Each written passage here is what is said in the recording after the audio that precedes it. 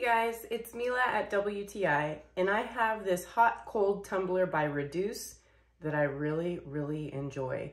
Now, there's a couple reasons I like it and it's gonna have to be number one, diversity.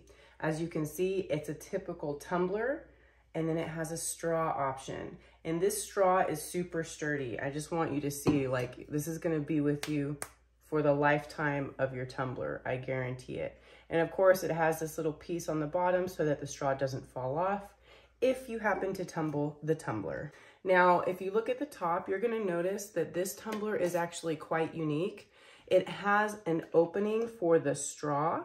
So if you open up this piece, you can insert a straw and have a straw sip as opposed to a regular gulp sip.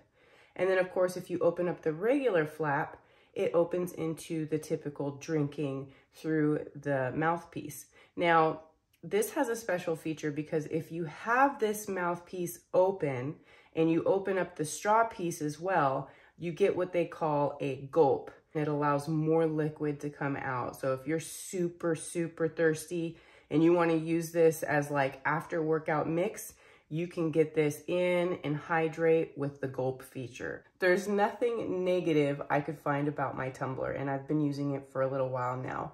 I love it. And that's my point of view.